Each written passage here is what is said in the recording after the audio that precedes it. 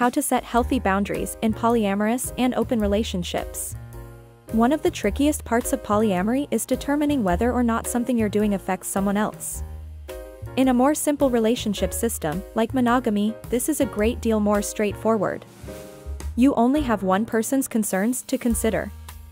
In polyamory, you start having to consider how decisions could impact metamors, your partner's other partners. And you also have to consider how all of your metamor's decisions potentially affect you. And when you do, well, that's when things get a great deal more complicated. Boundary setting in polyamory and other kinds of open relationships truly is complicated. Polyamory gets interesting. But first, let's talk about the basics of boundary setting. Boundary setting basics. Asserting boundaries is about establishing what you are or are not okay with. Boundaries are particularly important in achieving healthy relationships with others. Boundaries are very individual. They call them personal boundaries for a reason. But as a starting point here are some basic healthy boundaries to keep in mind. Not allowing others to manipulate or force you into doing things you don't want to do. And not doing so to anyone else. Not tolerating others yelling at you or calling you names. And not doing this to others not blaming others for things that are your responsibility, and not tolerating inappropriate blaming from others.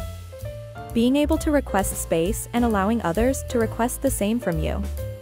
To a lot of recovering people pleasers, setting these boundaries can seem daunting. Even controlling. But boundary setting is different from controlling people, which is about telling other people what to do, especially when it has little or nothing to do with you. Here are some simple boundary setting statements. I'm not willing to argue with you right now. I'd be happy to talk to you later when we're both calm. I'm sorry, but I won't be doing that. I won't be loaning you any more money until you pay off what I loaned you before. Whenever possible, use as non-blaming language as you can. Be firm, but not on the attack. Even if you do feel that blame is warranted, blaming others puts them on the defensive, which makes them less likely to listen and accommodate your needs. Avoid blanket generalized statements including words like always and never. These feel particularly unfair to a person receiving them. It's a rare person who does something always or never. And the exaggeration aspect undercuts the truth of what you're saying. When setting boundaries, it can be helpful to share the potential consequences of violating that boundary. However, be honest with yourself and your partners as you do. Don't threaten things if you aren't willing to follow through. If you say you'll have to leave a relationship over a certain behavior, be prepared to do so. Conserve these consequences for the worst violations. And especially after repeated violations with no efforts to improve. If at all possible, it's best to discuss what your boundaries are before they're violated. I'm aware of most of mine due to past relationship experiences I've had. I find it goes more smoothly if you can preemptively share those with new partners. Not only are new partners less likely to violate those boundaries, but if they do, the resulting discussion usually entails less conflict and disruption if it's not completely new information to them. Second degree boundaries and beyond. Okay, now that we have a basic intro to boundaries, we're all set to tackle polyamory with them, right? Nope. Hold on there. We have officially arrived at the tricky part. Traditional boundary setting tackles first degree boundaries, that is, your direct interactions with another person. What about second degree boundaries? What about your metamor's interactions with your partner? It's easy when they don't affect you at all. But what if they do? How about beyond the second degree, the actions of your metamor's other partners? What's particularly difficult about polyamory is not only figuring out how to set boundaries that keep you emotionally healthy, it's doing that in a multi-person system where things still affect you. But without meddling in stuff that has little or nothing to do with you. Three buckets of control to sort them all. An important distinction to make is between things you can control, things you can kind of control, and things you can't control at all. Let's think of this as three buckets. In the first bucket are the decisions you consciously make. Simple stuff like what you choose to wear in the morning. And more complicated stuff like how you talk to your partners.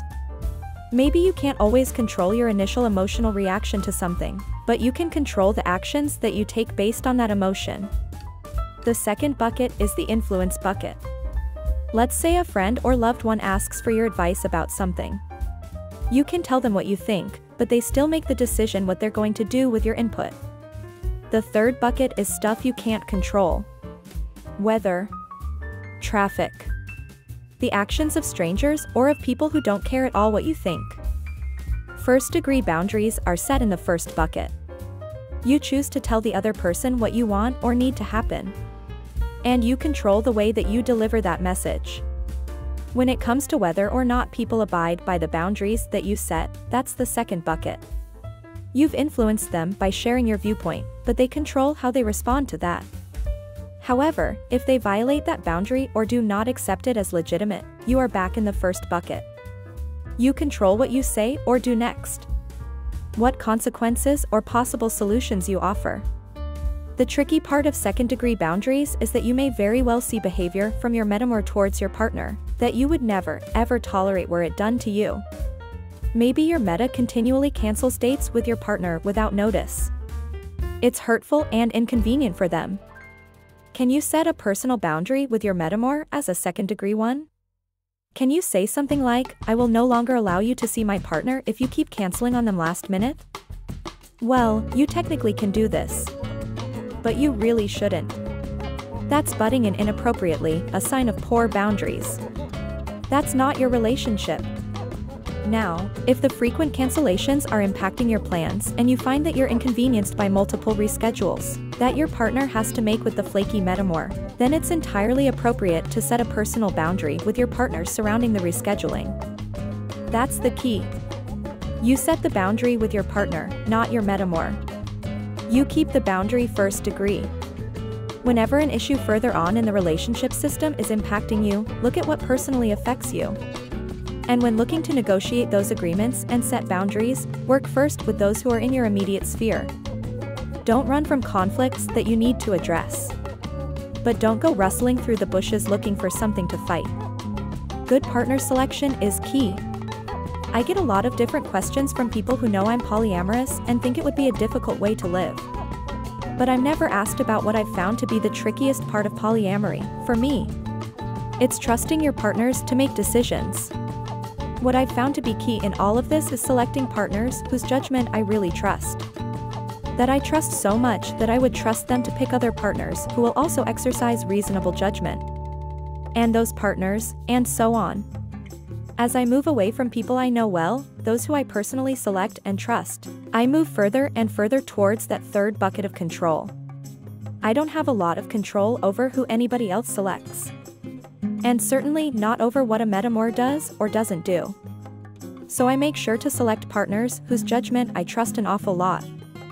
Who seem to make decisions as reasonable as my own, or maybe even better because I know that as we move down the line, the soundness of personal judgment may be diluted. Accepting that third bucket, the uncontrollable. That third bucket? The one you can't control? It's stressful.